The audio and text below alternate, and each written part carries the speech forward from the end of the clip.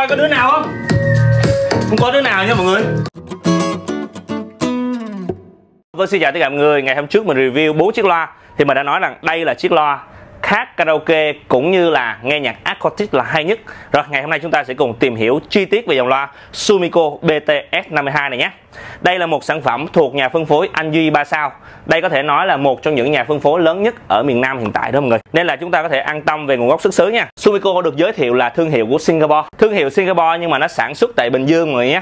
À, Địa chỉ của nó là ở Tân Đông Hiệp B, phường Tân Đông Hiệp, Dĩ An, Bình Dương. Đây là cái địa chỉ của nơi sản xuất mọi người nha. Đây là một dòng loa sách tay có kích thước nhỏ gọn với cái tầm giá trên dưới 6 triệu mọi người ha. Cái giá niêm yết là 6 triệu chín, còn giá đại lý nó sẽ mềm hơn một chút xíu mọi người. Ok mọi người hãy liên hệ trực tiếp bên mình sẽ báo giá chi tiết nha. Video của chúng ta sẽ bao gồm những phần như sau. Đầu tiên chúng ta nói về ngoại hình, thứ hai là về linh kiện, thứ ba là về tính năng và thứ tư là về cái chức âm về ngoại hình thiết kế thì mình đánh giá cái dòng loa này tương đối tốt khoảng 8 điểm rưỡi trên 10 à, lý do vì sao loa thùng gỗ bọc da bọc da cũng tương đối là đẹp mọi người tương đối là chỉnh chu ha. Nó có bốn tám cái góc này để nó đỡ trầy da. Đây cũng là một thiết kế thông minh ha. Thứ hai nó có chỗ bỏ mic thiết kế thông minh thứ hai.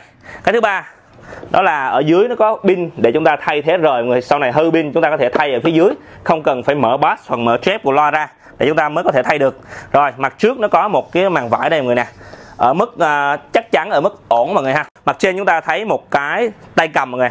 Tay cầm này mình thấy rất đẹp nha có thể là đẹp nhất trong những cái à, tay cầm mà trước giờ mình thấy luôn. Rồi ở mặt trên nó có à, một cái phay nhôm. Nó có những cái nút màu đen như thế này. Mình thì mình nhìn những cái nút màu đen với tầm giá này thì mình thấy không có đẹp lắm. Đó, đó là ý kiến riêng của mình đó ha. Ở mặt sau chúng ta thấy về thiết kế. Ốc này mọi người. Rồi hai lỗ thông hơi. Ở đây là cái bảng mạch phía sau của nó bao gồm cho chúng ta là các cái ngõ vào như là USB thẻ nhớ HDMI optical audio in out ngõ guitar micro có dây và có chức năng bắt bút luôn. Mình thì mình chưa thử bắt bút mọi người nhé. Nhưng mà chức năng bắt không của nó là cũng lực đó. Hồi nãy mình mà người xem cái phần intro á là hơi nó đánh cái này là rung rồi đó mọi người. Về cái mặt phay nhôm phía trên thì mình thấy nó có những chức năng như sau. Đầu tiên là bluetooth hai là usb optical in chế độ thị, hiển thị pin. Rồi chức năng để chúng ta chỉnh được cái mỏ nhạc cụ nè. Micro có dây echo delay reverb đầy đủ ha. Mic trap mic bass bass trap à, của nhạc và volume của nhạc khi mình mở ra mình thấy độ hoàn thiện cũng tương đối ổn mọi người ha. Đây là lý do tại sao mình chấm là khoảng 8,5 trên 10 ở đây nó vẫn còn hơi chưa được sắc sảo lắm thôi mọi người nè ở những cái góc này thôi. Chứ còn mà về cái độ sạch sẽ mình đánh giá cũng tương đối là tốt ha cấu hình của nó bao gồm hai bass và hai chép neo. À chép này là chép neo mọi người nha. Đó là lý do tại sao mình nói mọi người là nó đánh tiếng nhạc acoustic là hay nhất luôn mọi người. Cái tiếng chép nó rất rất là tí tách và rất là len keng hai loa bass của nó là bass màng cao su mọi người. Cái ưu điểm của bass màng cao su này á là nó đánh tiếng súp nó rất là lực. Nhưng mà cái giọng hát của à, ca sĩ ra nó hơi bị hơi bị ù một chút xíu. Đó là cái khuyết điểm của nó mọi người ha. Rồi đây chắc là cái chỗ để làm anten đó mọi người. Hai cái chép neo này mình thấy là đây là lần đầu tiên có một cái cấu hình như sau luôn mọi người. Cấu hình đọc đó mọi người hai lo bass mỗi bass 5,2 inch bình thường chúng ta sẽ thấy là bass 6 inch ha. Hai lo chép neo như thế này. Công suất của hãng này họ công bố là khoảng 100W nhưng mà theo mình là cái độ lớn thực tế nó sẽ to hơn những dòng loa khác ở công suất 100W mọi người nhé. Lý do vì sao? Công suất là công suất còn cái độ ồn độ lớn thực tế đó là khác nhau mọi người nha. Bình thường là tiếng bass nó sẽ tốn rất là nhiều công suất nhưng mà cái cảm giác tai thực tế nó nghe không có nhiều. Nhưng mà giải trap nó tốn rất ít công suất nhưng mà nó lại đưa ra cái độ ồn độ lớn cái tai chúng ta lại nghe cảm giác nó to hơn. Đó là lý do tại sao lo dòng loa này công suất khoảng 100W nhưng cái công cái độ lớn độ ồn thực tế nó sẽ to hơn những loa 100W bình thường mọi người nhé. Với cái pin của nó được hãng công bố là 12V 5,2 Ah nếu mà đó là những pin như là pin của Samsung hoặc pin của LG đúng là những pin chính hãng thì nó sẽ có thời lượng lâu. Nhưng mà nếu mà cùng một cái dạng pin so với những dòng loa khác thì đây cũng là một dạng pin à, tương đối là thấp mọi người ha. Nên là đây cũng là một cái khuyết điểm của nó. Ngoại hình tính năng và cũng như là độ tiện lợi của nó đó là những cái điều thứ yếu. Đối với một chiếc loa chúng ta quan trọng nhất đó phải là cái chức âm để chúng ta có thể đánh nhạc nền hoặc chúng ta karaoke. Đây là một chiếc loa karaoke nên chúng ta quan trọng nhất là phần tiếng micro mọi người ha. Tiếng micro của dòng loa này mình thấy cái hiệu ứng của nó là tương đối là hay. Echo delay reverb tương đối là mượt. Nhưng mà cái ưu điểm của nó ở cái dãy cao của giọng hát của mình mình thấy tương đối là sáng. Nhưng cái khuyết điểm của nó là cái dãy trầm cái dãy mid low của mình á là hơi ồ một chút mọi người ha. Nếu giọng ai mà chúng ta giọng yếu mà không độ không dày quá chúng ta có thể để mid xa chúng ta bật âm lượng lớn ra hát sẽ ok. Còn nếu bạn nào mà hát giọng rất là khỏe hát mạnh vô thì nó sẽ bị vỡ. Nếu mà ai mà giọng khỏe chúng ta bắt buộc phải để cái âm lượng micro ở âm lượng nhỏ. Sau đó chúng ta để cái mic gần lại chúng ta hát mới được nha. Rồi à, cái ưu điểm của dòng loa này mọi người. Đó là cái giải cao mọi người. Đối với hai cái loa chép neo này mình thật sự thích ở cái chất âm giải chép của nó. À, cái giải chép của nó khi nó đánh nhạc rất là tí tách len can và mạnh lực đó mọi người. Cái tiếng chép nó rất là sáng mà cũng tương đối là dễ chịu mọi người ha. Tí mình sẽ test thử vài bài mà người xem thử có đúng như vậy không. Mà trước khi đó mình sẽ test thử cái micro cho mọi người xem nè. À, mình sẽ để âm lượng 50 echo delay reverb mình tắt. Mic chép mic bass mình để 50 nhé để mọi người nghe cái tiếng thật trước. Alo 1, 2, 3, 4, 5, 6, 7 6, 6, 6 Mọi người nghe tiếng 6 nè 9 nè. 6, 9 là chúng ta sẽ nghe được cái dãy cao à Mọi người nghe từ 1 nè. Từ 1 của mình nó sẽ ra được cái dải trầm nó. Chi tiết hay không nha? 1, 1 Mọi người nghe cái từ 1 của mình nè. 1, 2, 1, 1, 1 từ một là cái nó thể hiện được cái giải mid lâu của mình á nó ổn thôi chứ chưa xuất sắc. Nhưng mà mình nghe tiếng xấu nè xấu xấu chín chín ok. Đó còn cái giải chung thường nó sẽ chúng ta sẽ nói chữ hai nè.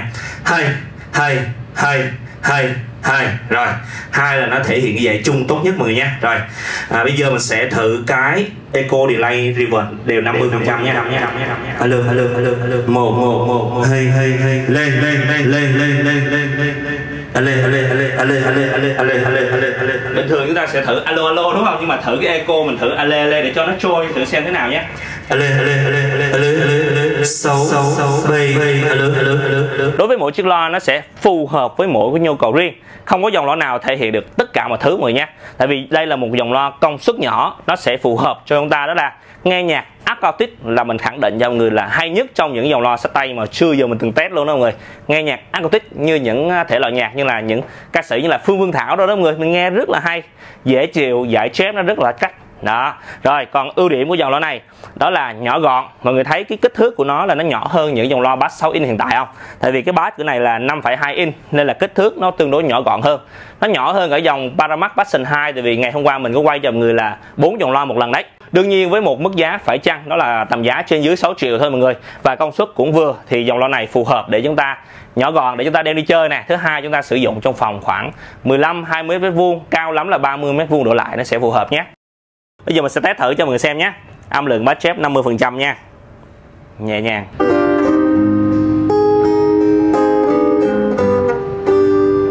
Em hát đi, dù mây hạ về. 75 phần trăm. bass trung chén nha dòng sông này là hát trên cây. Mây trôi trôi chim ngủ đôi nhớ. Em hát đi lênh đênh giọt buồn. Hoài mãi trong ta bơ vơ chiều về. Dòng sông này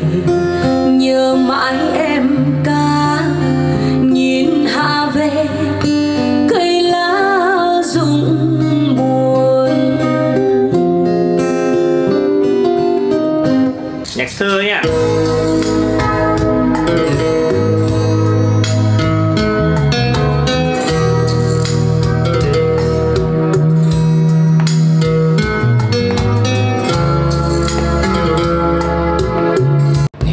trôi dài không đêm đôi ta chỉ mong yên bình. Đừng hiểu lầm khi trôi cùng với niềm tin quá vội. Đường trường rơi bao hạnh phúc mới. Lỡ tình cho cũ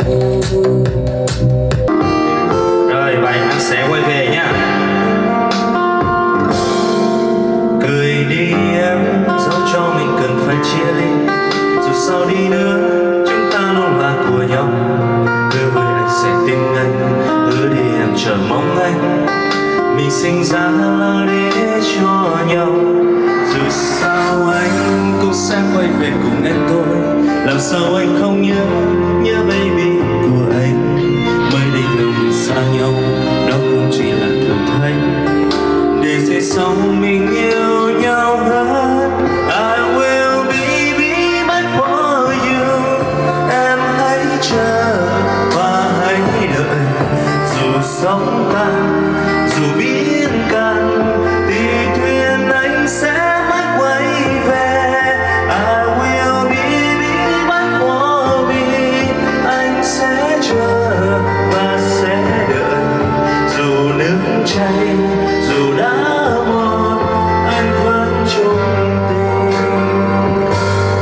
xin cảm ơn tất cả mọi người đã quan tâm theo dõi video. Mọi người thấy những cái thông tin hồi nãy giờ mình chia sẻ chính xác, khách quan và chân thật, mọi người có thể bình luận một cái ở dưới cũng như là like một cái để ủng hộ tinh thần nhé. Mọi người nhớ nhấn nút đăng ký kênh để cập nhật những video mới nhất. Bye bye, xin chào và hẹn gặp lại.